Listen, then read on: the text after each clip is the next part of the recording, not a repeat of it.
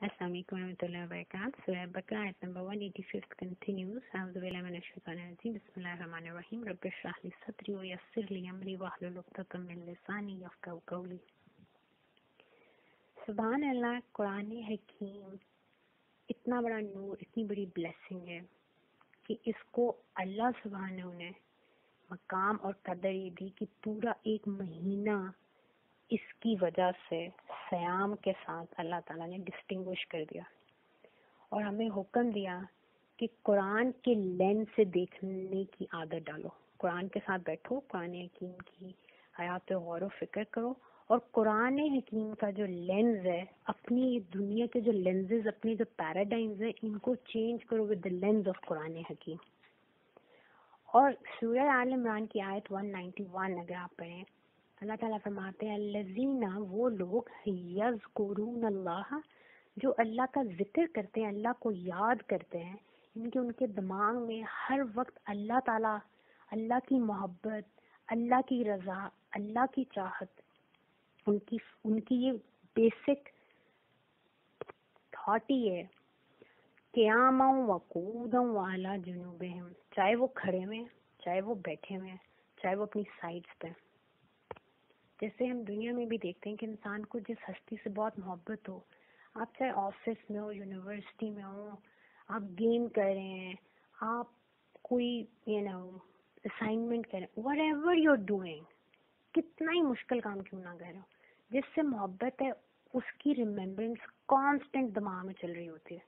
दिल उसकी तरफ़ होता है, हाथ आपके अपने कामों में लगा हुआ होता है, लेकिन दिल तो आफ कर होता है उस हस्ती का।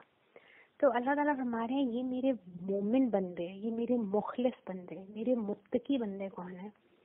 कि इनकी ये अल्लाह की याद में रहते हैं, चाहे खड़े हुए हैं, बैठे हुए हैं, अपनी साइड्स पे लेटे हुए हैं, वो या तफक करूँ ना फ़ी खल के समावात वलर और क्योंकि मेरी फ़िक्र में लगे हैं, और अल्लाह की फ़िक्र क्या है, आप कलाम अल्लाह को पढ़ेंगे तो अल्लाह ताला की समझ आएगी। अल्लाह ताला का कलाम है, हम कैसे बाकी अल्लाह को तो हम देख नहीं सकते। अल्लाह से हम डायरेक्ट कलाम भी नहीं कर सकते। तो अल्लाह ताला का जो ये कुरान हकीम कलाम है, इसके ज़रिए ही हम अपने रब को अल्लाह ताला क्या चाहते हैं, अल्लाह ताला की चाहत क्या है, अल्लाह ताला मुझे कैसे देखना चाहते हैं? कुरान से ही समझ आएगी तो जब कुरान हकीम का लेंस डिवेलप होगा, अब इस लेंस के साथ जब वो फ़िक्र करते हैं आसमान और ज़मीन की खलकत में इस लेंस के ज़रिए आसमान और ज़मीन और इसकी हर चीज़ को, इर्द गिर्द लोगों को, फल, पौधे इन्वायरमेंट स्पेस मेडिसिन एवरीथिंग उनका लेंस क्या है? कुरान, अल्लाह की चाहत। तो अब जब वो इस, इन खलकत में फ़िक्र करते हैं, तदब्बर करते हैं तो बेख्तियार ये रियलिटी ये वो बोलते भी नहीं दिस इज़ समथिंग जिस तरह वो बेख्तियार अल्हम्दुलिल्लाह मुँह से निकलता है। कल्ब से निकलता उनके कल्ब में ये रियलिटी आती है। रब बना, ए हमारे सबके रब। माँ खलकता हाजा बातल आपने कोई चीज़ बेमकसद नहीं बनाई। सुबहान अल्लाह और वर्ड भी है सुबहान अल्लाह आप पाक हैं। आप अली उल अली हैं। आप ही ला हकीम इल्लल्लाह। आपने कोई चीज़ वर्थलेस नहीं बनाई। तो कुरान की नज़र से जब आप मखलूक को देखेंगे, मखलूक की कदर, उसकी वर्थ उनकी कीमत आपको समझ आएगी। अब इंसान जब अपने सोशल मिरर्स में या दुनिया की नज़र से हम देखते हैं तो हमने लोगों को कितने कितने टैग्स दिए हुए हैं। कोई हमारे लिए अगर जिस्मानी तौर पे हमारे स्टैंडर्ड पे नहीं आता तो हम कहते हैं डिसेबल्ड है।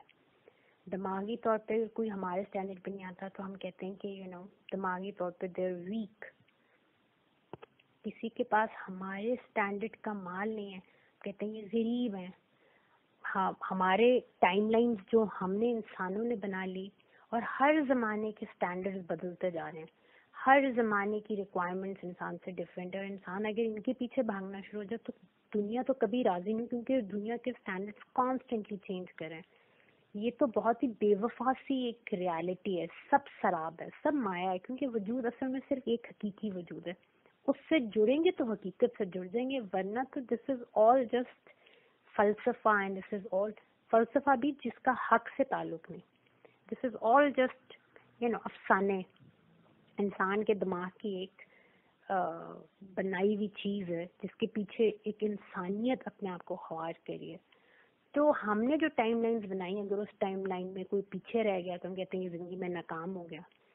और फिर हम, क्योंकि इतनी इजी जजमेंट पास कर देते हैं तो लोग बाज यू नो और वतवा सौ बिल हक, वतवा सौ बिल सब भी सोसाइटी में जब नहीं है, जब कुरान से लोग जुड़े ही नहीं and every man for himself for like mentality है and it's a dog in dog world out there and it's an aggressive world जहाँ पे सर्वाइवल ऑफ़ द फिटेस्ट किसी ने किसी की हिम्मत भी नहीं बढ़ानी।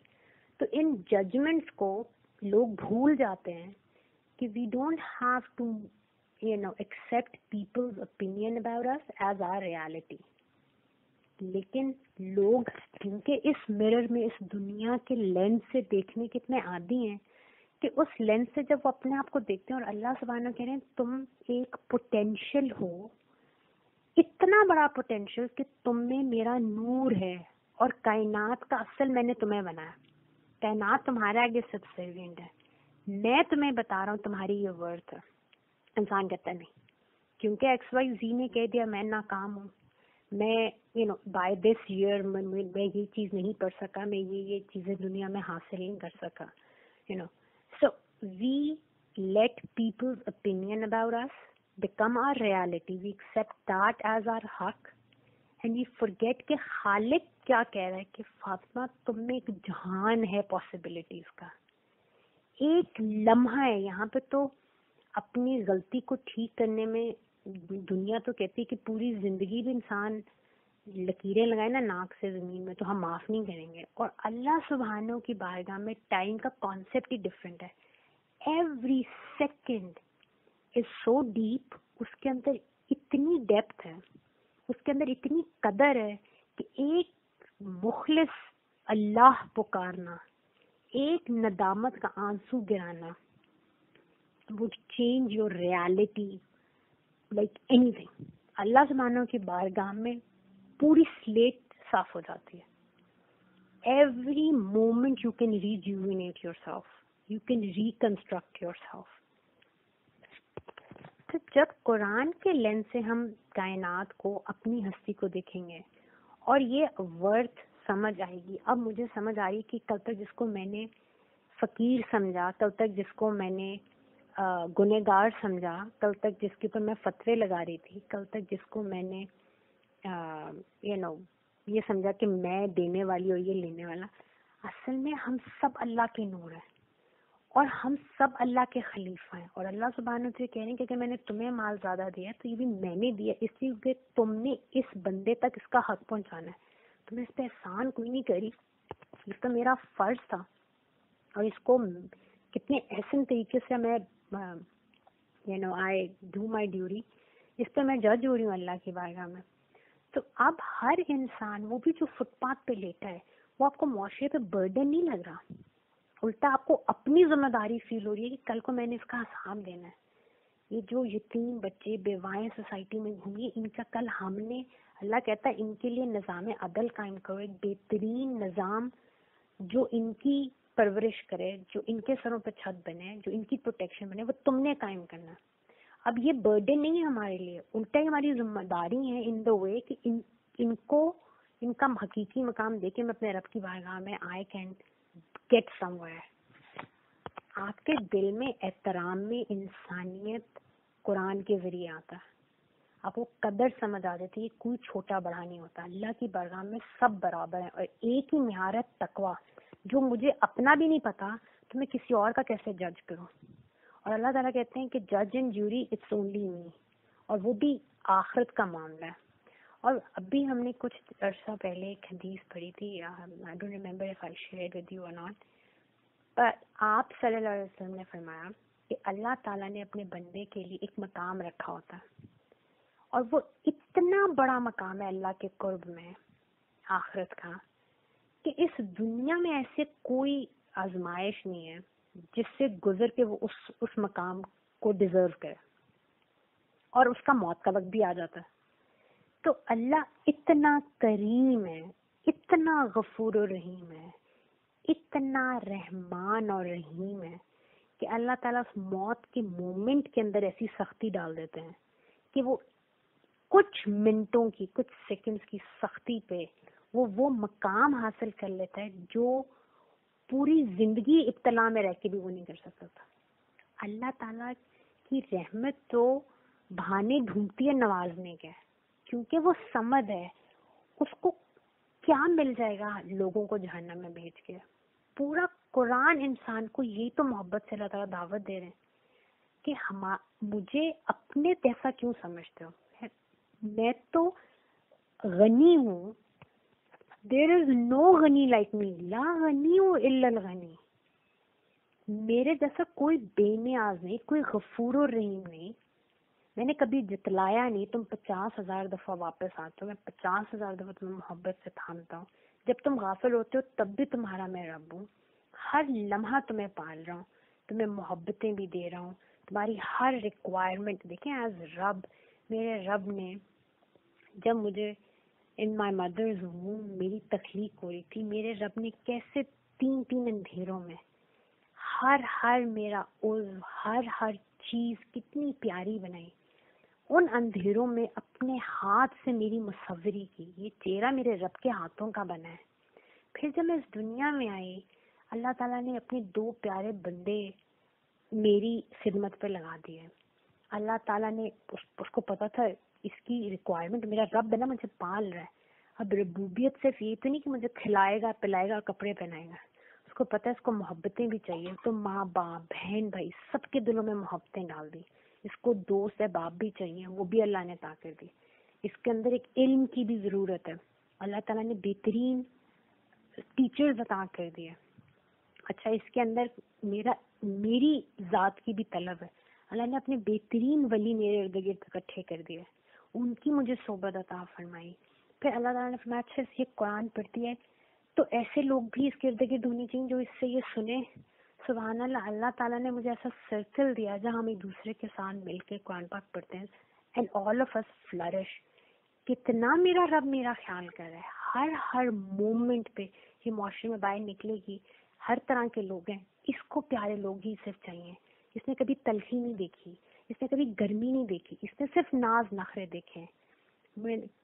आप देखें, इंसान के लिए अल्लाह ताला कैसे कैसे लोगों को, जिन्होंने कभी किसी दूसरे को लिफ्ट नहीं कराई होती। आप उनके सामने जाते हैं। अल्लाह को पता है, बाकी तो गर्म सर्द बात सुन लेते, इसको आदत नहीं है। वो बंदे का अल्लाह ताला उस वक्त टेम्परामेंट ही चेंज कर देता है। रब है ना कांस्टेंट रबूबियत कर रहा है। आप इस नज़र से जब आप, मखलूक अपने आप को या चीज़ों को आप देखेंगे, और जो ग्रेटि तक मुत्तकी दिल है तो उसमें ग्रैटिट्यूड आएगा। अब जब उसमें जो ग्रैटिट्यूड है तो वो इंसान सरापा, रहमत और नूर बन जाएगा। माँ बाप का शुक्र गुजार बहन भाई रिश्ते नातों का, चाहे वो रिश्ते नाते उसको तकलीफ़ दें, उसको उनसे कोई फ़िक्र नहीं है। उसको तो उन, उनके थ्रू जो कंफर्ट मिल रही है, वो ज़ाहिर तकलीफ़ के पीछे कि मैं एक खानदान से हूँ, मेरे ये सारे, चाहे मतलब हम ज़्यादा वक्त आपस में कॉन्फ्लिक्ट में ही रहते हैं, लड़ ही रहे होते हैं बट स्टिल मेरे अपने तो हैं मैं मेरा एक ख़ानदान तो है कहीं खड़ी होती हूँ, मेरे साथ खड़े होने वाले तो हैं। सुबह मेरे रब का कितना हक मुझ पे फजल है। अब हक, हकूक, फ़राइज मजबूरी नहीं रहेंगे। इंसान खुशी खुशी वो बातें करेगा। खुशी खुशी वो हकूक पूरे करेगा। वो फ़राइज क्योंकि अब वो अपने रब के लिए, जो कुछ हो रहा है रब के लिए। और रब की नज़र से वो उन चीज़ों की कदरें पहचान रहा है। अब उसको माशरे की खिदमत अपने पर बर्डन नहीं लग रहा। मखलूक की भलाई का वो सोचेगा। ये इन्वायरमेंट एनिमल्स हैं, हर चीज़ का जब आपको मकाम समझ आ गया, अल्लाह की बारगाह में, कि वो मेरा रब इन चीज़ों को क्या वर्थ दे रहा है। हर चीज़ काबिल इज़्ज़त, काबिल एहतराम हो जाएगी। आप, अब इंसान जब पौधे लगाता है तो अपने लिए नहीं लगाता, अब वो आने वाली नस्लों का सोच रहा है। अब जब वो इस्लाम को पीस को डिफेंड करने फितना फसाद के खिलाफ खड़ा होता है तो वो जाने दे रहा है, इसलिए नहीं कि उसको मेडल्स मिलेंगे, या उसका कुछ भला है, वो तो दान दे के चला जाएगा। सिर्फ़ इसलिए कि पीछे जो इंसानियत है, ये फितने फसाद से बच जाए। अब वो माल खर्च कर रहा है, कोई थैंक यू भी नहीं कह रहा। एंड ही डजेंट केयर वो माल इसलिए खर्च कर रहा है, क्योंकि उस माल का ये हक है कि वो अपने, जहाँ जहाँ अल्लाह ने उस इंसान को यू नो समझाया है कुरान में कि ये ये जगह तुम्हारा हक बनता है। उसने वहाँ पहुँचानी है, चाहे अगला उसका हक पूरा करे, ना करे। अपनी वक्त, सेहत एवरीथिंग और इस वक्त मेरे दिमाग में ईदी साहब की एग्जांपल आ रही है कि ईदी साहब जब इंडिया से पाकिस्तान आए तो देखिए उनके पास कुछ भी नहीं था। महाजिर थे, पढ़े लिखे भी नहीं थे। And he was sitting at a langar और जब उन्होंने ये बात कायद आज़म की सुनी कि इस वक्त मुल्क को सबकी ज़रूरत है और हर कोई अपना अपना पार्ट प्ले करे let's not become a burden on this com.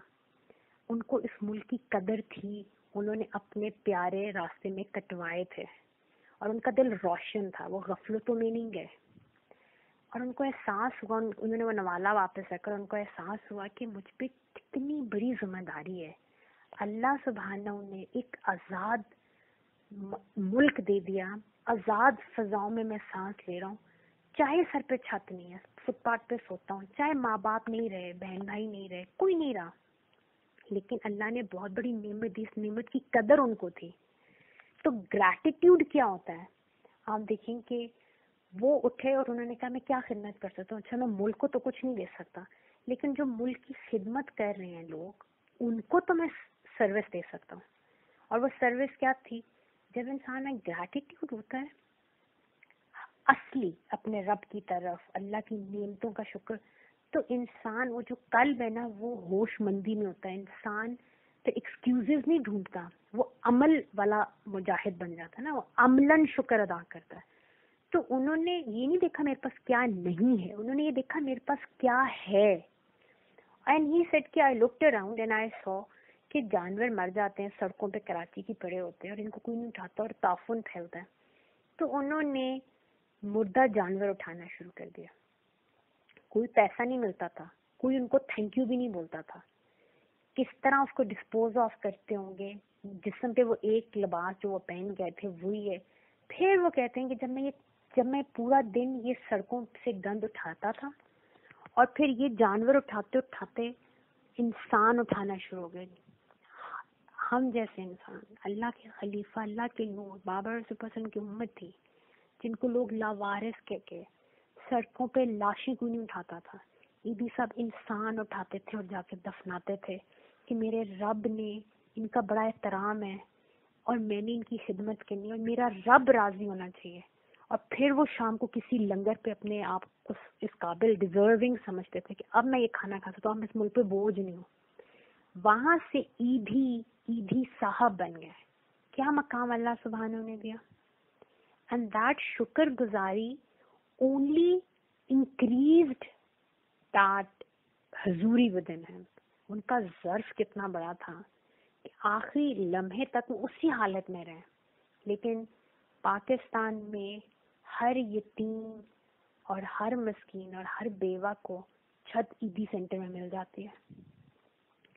ऐसे मुस्लिम, ऐसे होलसम लोग होते हैं ये सुबह अल्लाह जो अल्लाह की नज़र से ये कुरान की, के साथ बैठ के, ये ये हिकमतें इंसान के अंदर डेवलप होती हैं, कि अब जब आपको दरख्त देखेंगे तो आपको कुरान की आयत नज़र आ रही है, कि अल्लाह जबान तो फरमाते हैं, कायनात की हर चीज़ तस्वीर करती है। ये जो दरख्त में काटने लगा मेरी ज़रूरत है, अल्लाह ताला फरमाते हैं कि ज़रूरत है तो ज़रूर काट लो, और दरख्त खुद अपने आप को सरेंडर करता है इंसान के सामने। कभी किसी दरख्त ने अगर से नहीं कहा कि excuse me do not cut me you know फल लगता है तो उतनी टहनियाँ झुक जाती हैं कि, ए मेरे बंदे, मुझे ये ऑनर दे कि मेरा फल तू खाए ताकि मैं अपनी रब की बारगाह में सुरखरू हो जाऊँ. सुबह अल्लाह तो अब आप जब वो दरख्त काटेंगे तो एरोगेंस के साथ नहीं कि बस आने वाली नस्लों का तो नहीं पता, मेरा काम हो जाना चाहिए। आप इस ह्यूमिलिटी के साथ दरख्त काटेंगे कि मैंने एक अल्लाह की तस्वीर वाला काटा, इसकी जगह पहले मैं एक और दरख्त लगा लूँ। ये एहतराम है मखलूक का और इंसान का एहतराम तो इससे बढ़ के कि आप समझें कि सब अल्लाह का कुंबा है, अल्लाह का नूर है। बाबा रसूल की उम्मत है। बाबा रसूल की बड़ी प्यारी हदीस है। आपने फरमाया कि अगर तुम कभी किसी मेरी औलाद को देखो, किसी सैयद को देखो वो अच्छा हो तो अल्लाह के लिए उससे मोहब्बत करो। और अगर तुम कभी उसमें कोई कमी देखो तो मेरी वजह से उसको दरगुजर कर जाओ। और काबक में फरमाते हैं, इनसे कह दें, मैं तुमसे कुछ नहीं माँगता, मगर अपने अहले बैत की मोहब्बत। सुबहान अल्लाह तो अब ये ये मोहब्बतें इन नस्बतों का एहतराम कहाँ से आएगा?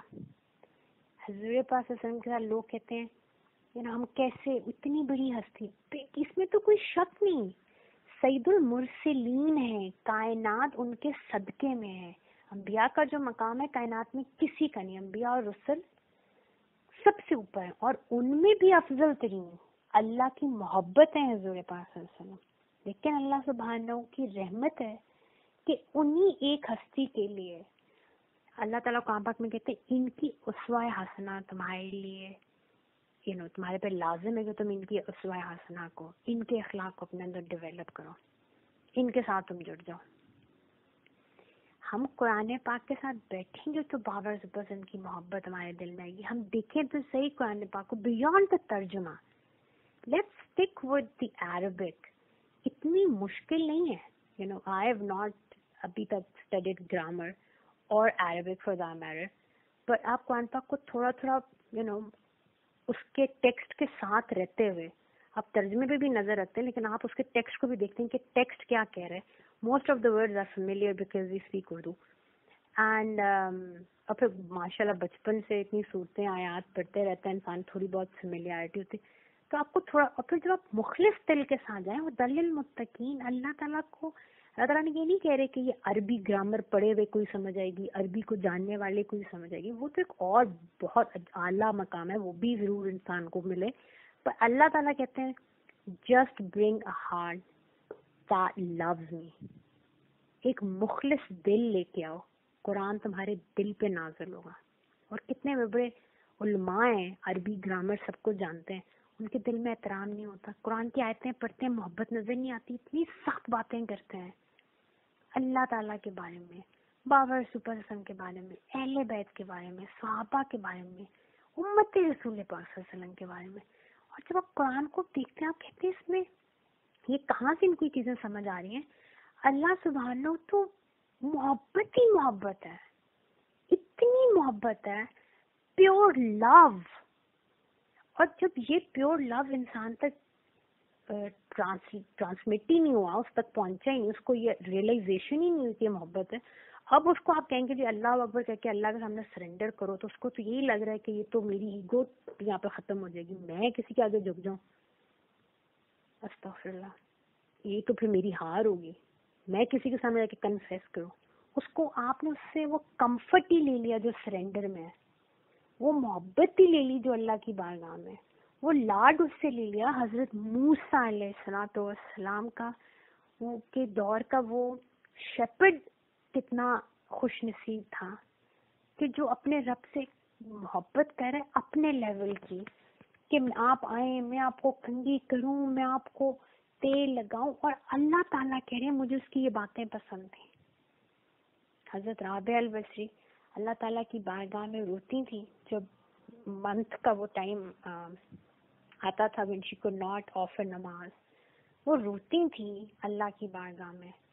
हालाँकि इट्स नेचुरल थिंग उनका रोना अल्लाह सुबहानों को इतना पसंद था कि अल्लाह ताला उनसे जब उन, उन उनको ख्वाब में अल्लाह ताला ने उनसे कलाम किया तो अल्लाह ताला ने फरमाया कि जो तुम्हारी तड़प है ना ये हमें बहुत प्यारी है। सुबहान अल्लाह। तो अल्लाह को तो पता नहीं बंदी की क्या क्या मोहब्बत की अदा। अल्लाह बहुत शकूर है। ला शकूर अल्लाह कायनात का सबसे ज़्यादा अप्रिशिएटिव आप यू नो हस्ती को दिमाग में रखें और आप फिर कहें, ला शकूर ये भी कुछ अप्रिसिएशन है जो मेरा रब कदर करता है, जो मेरा रब मोहब्बत करता है। सुबहान अल्लाह। तो अल्लाह ताला से दुआ कि हम हम समझ सकें कि ये जो रमज़ान का महीना है इट्स ऑल अबाउट कुरान हकीम। Sitting with Quran Hakim sitting with our families and as a family Quran को समझें। कुरान की मोहब्बतें यू नो मिल के इस पर फ़िक्र करें।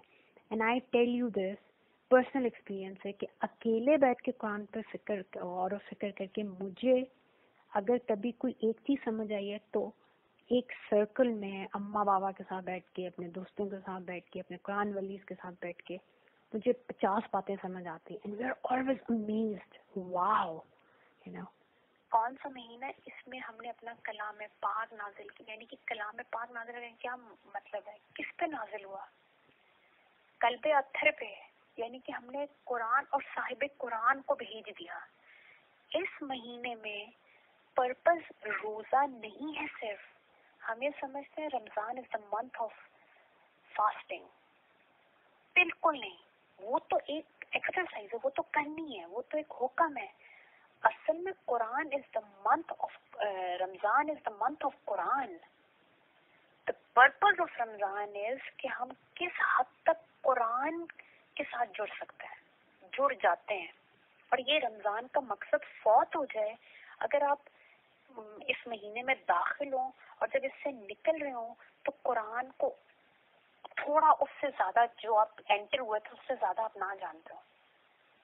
वो जो पर्पज ऑफ़ रमज़ान है, वो तो it would be lost if you don't come out of this month little more in love with Allah का कलाम यू नो जिस हालत में आप इस महीने में दाखिल होते हैं, जिस मोहब्बत और जिस अंडरस्टैंडिंग ऑफ़ कुरान के साथ, अगर इस महीने के एंड में वो मोहब्बत और वो कलाम और अल्लाह की अंडरस्टैंडिंग बढ़ नहीं रही तो मतलब आपने इस महीने को सिर्फ़ एक एक्सरसाइज के तौर पे सिर्फ़ नफल पढ़ पढ़ के आपने गिनती की बातें करके गुजार दिया। देखें, जन्नत अल्लाह की मखलूक है और अल्लाह इतना करीम है कि वो तो उसकी रहमत तो भाना ढूंढती है और उसको भाने की भी ज़रूरत नहीं है अपने बंदे को जन्नत में। वो तो इतना गफूरी में फरमाया गया कि दो बंदे थे अल्लाह की बारगाह में हाजिर किए गए। किए जाएँगे। तो क्या अल्लाह के इल्म में तो क्यामत आके गुजर गई उसके लिए तो टाइम लीनियर नहीं है। फरमाया गया कि अल्लाह के बारगाह में दो बंदे आए। दोनों पे जहन्नम का फैसला हो क्योंकि दोनों गुनहगार थे। एक ने जहन्नम की तरफ़ दौड़ लगा दी और दूसरा दो कदम उठाता था और फिर मुड़ के देखता था। फिर दो कदम उठाता था, फिर मुड़ के देखता था। मलाइका अब अल्लाह ताला यू नो अब ये हिकमत है, ये समझाने की बात है। कि अल्लाह ताला, अल्लाह को पता है दोनों के कल में क्या? है लेकिन मलाइका तो नहीं जानते। तो मलाइका ने दोनों को पकड़ लिया। तो जो भागा, उसको उसको उसको तरफ़ मलाइका ने कहा कि तुम्हें शर्म नहीं आई? दुनिया में भी तुम जो थे वो इतने ढीटों की तरह तुमने गुनाह किए और अल्लाह की नाफरमानी की और अल्लाह के हुक्म तोड़े और आज तुम्हें जहन्नम जाने की तरफ़ कहाँ गया है? तो तुमने मतलब ना तुम गिर गड़ाए ना तुमने माफ़ी मांगी और तुमने दौड़ लगा दी। इतनी भी तुम्हें गैरत नहीं आई कि तुम अल्लाह के सामने अब अब ही झुक जाओ। इतनी बेशर्मी से तुम भागे हो। तो वो मुड़ा और उसने मलाइका की तरफ़ कहा कि, पूरी ज़िंदगी अपने करीम रब से मैं गाफिल रहा हूँ। मैंने कभी से मोहब्बत ही नहीं की।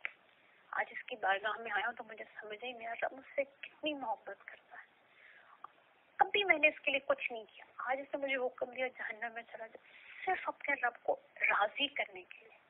ठीक है, मैं जल जाऊँगा। ठीक है, मेरी हस्ती तबाह हो गई। लेकिन आज इस मोहब्बत को जो मैं फील कर रहा हूँ, आज इसके बदले कुछ भी नहीं चाहिए। सिर्फ़ आज मैंने फील किया है। मैं चाहता हूँ एक लम्हे में अपने रब को राज़ी करूँ। तो मैंने इसलिए दौड़ लगाई है, कभी पहले इसके हुक्म पे नहीं दौड़ा। ठीक है, आज अपनी ही खराबी की तरफ़ जा रहा हूँ, लेकिन आज दौड़ू। इसकी मोहब्बत में दौड़ू। अल्लाह तला मुस्कुराए अल्लाह तला ने कहा कि जाने दो इसको जो उसको मेरी जंतु मिले तो। दूसरे की तरफ़ मलाइका मुड़े उन्होंने कहा, तुम्हें शर्म ना आई? दुनिया में भी तुमने कभी अल्लाह के हुक्म पे कान नहीं धरे और आज अल्लाह ताला ने हुक्म दिया, उस दूसरे को देखो, वो दौड़ा अल्लाह के हुक्म पे। और तुमने आज भी वही वतीरा अपनाया जो दुनिया में अपनाया। आज भी टांगे पाँव कदम घसीट घसीट के चल रहे हो। वो रोया और उसने मलाइका से कहा कि मैंने दुनिया में सुना था, मेरा रब बहुत गफुर रहीम है। मेरे रब की रहमत हर लम्हा मेरा इंतज़ार के लिए। दुनिया में मुझे यकीन नहीं आता था। मैं अल्लाह से गाफिल था। आज मैं इसकी बारगाह में आया हूँ। मैंने इसकी वो मोहब्बत और वो शफकत फील, मैंने आज, मुझे हक को यकीन है, मुझे पूरा यकीन है मेरा रब बहुत गफूरी है। मैं बार बार रुकता हूँ, शायद मेरा रब मुझ पे, मेरे पास है कुछ नहीं। मेरे तो खाली हाथ हूँ, लेकिन ये करीम है। मैं तो उसकी मगफरत के इंतज़ार में मुड़ मुड़ के देखूँ। शायद मेरे लिए मगफरत का फैसला अल्लाह ताला फिर मुस्काए अल्लाह ताला ने कहा, जाओ इसको मेरी जन्नत में अल्लाह ताला ऐसे गफूर रहीम है। ये जन्नत you know it's just a मखलूक। मकाम है, रजा का मकाम है, लेकिन मखलूक है। मिल जाएगी। रब की जस्तजू है। अल्लाह ताला को चाहे। जन्नत की चाहत भी बहुत प्यारी है। लेकिन वो एक मखलूक है खालिक की चाहत करें जो राबिल बसरी, ये बड़े बड़े औलिया जो कहते थे कि चाहता उस जन्नत को आग लगा दें, जिसकी लालच में लोग नेकी करता है। और अल्लाह खुद, ये अल्लाह ताला ने भी वैसे तो जन्नत की चाहत भी जो करे, वो भी बख्शा हुआ है। लेकिन अल्लाह ताला ने कुरान पाक में हिंद ज़रूर दी कि इन्होंने अल्लाह की कदर नहीं की। ये कदर सिर्फ़ काफिरों के साथ ही बात हो रही। है अल्लाह ताला मोमिनी मुसलमानों से भी यही गिला कर रहे हैं। कि अल्लाह की कदर तो ये थी कि अल्लाह की जात की चाहत की जाती तुम दुनिया में भी मेरी मखलूक की चाहत करते रहे। उन जनतों की उनकी नहीं वो तो वैसे ही मिल जानी थी। तो the whole purpose of Ramzan Sharif है that we become we go we get closer to the word of God, ताला हम कलाम अल्लाह को सिर्फ़ पढ़े नहीं उस पढ़ने के लिए भी टाइम नहीं है। पढ़ भी लें, बड़ी बात है, लेकिन जिन लोगों को ये समझ आ जाए और जो अपने रब की वाकई जस्तजू और तलाश में कि ये रमज़ान है, ग्यारह महीने अयाशी के हैं, ठीक है, आप अपनी पसंद से जीते हैं, अल्लाह के हुक्म के मुताबिक जीना चाहिए, बट वो आपके महीने हैं, एक महीना है। इस एक महीने में आप कुरान पाक को पढ़ें, कुरान पाक इसीलिए तो इसकी रातों में क्या लैल है कि इन रातों में दिल को इंसान चले जिसम के ऊपर काम करता है कि ये जो मुझे डिस्ट्रैक्ट करता है, इसको मैं कमज़ोर करूँ। रातों को आप अल्लाह की बारगाह में खड़ते हैं, कलाम अल्लाह पढ़ते हैं। आप तरावी नहीं पढ़ते, तरावी भी क्या है? इट्स बेसिकली बहाना है कि आप कलाम अल्लाह पढ़े। आप तरावी के बगैर, आप कुरान पे फोकस करें। हमारे यहाँ हम दुआएँ, ये सब बहुत प्यारी चीज़ें मगर कुरान को समझ के नहीं पढ़ते। अभी Ramzan Sharif just you know हमारा मकसद इस रमज़ान शरीफ में ही होना चाहिए कि इस रमज़ान शरीफ में मेरा मेरा मकसद ये है कि I will get to know Quran पाक a little more than I did before and I मैं इस दफ़ा कुरान पाक को पढ़ूँगी, उसको समझ के पढ़ूँगी, उसकी आयात के ऊपर रिफ्लेक्ट करूँगी and I will fall in love with the Kalam. you know, a little more than I did before, I will get to know Kalam Allah.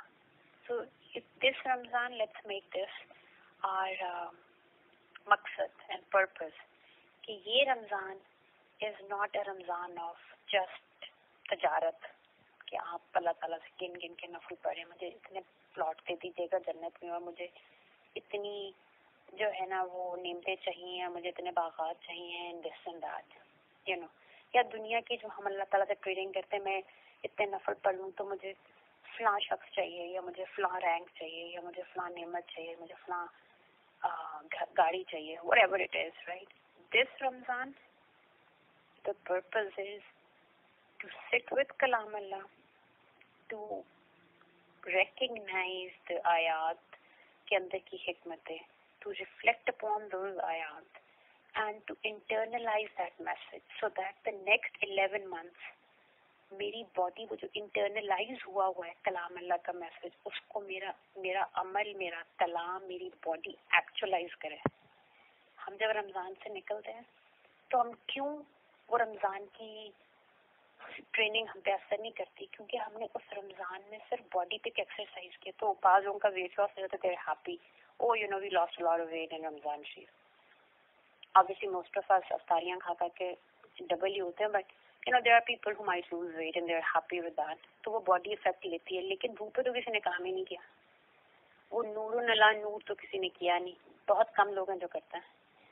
क्योंकि वो इंटरनलाइज नहीं किया उस नूर को तो उसको अगले ग्यारह महीने बॉडी एक्चुअलाइज कैसे करेगी? अंदर कुछ लाइक अ वेल सर, कुआँ होता है ना, उसमें पानी डालेंगे जिस वक्त आपको चाहिए होगा, आप बकेट डालेंगे तो वो पानी निकलेगा। एक कुएँ में पानी नहीं है।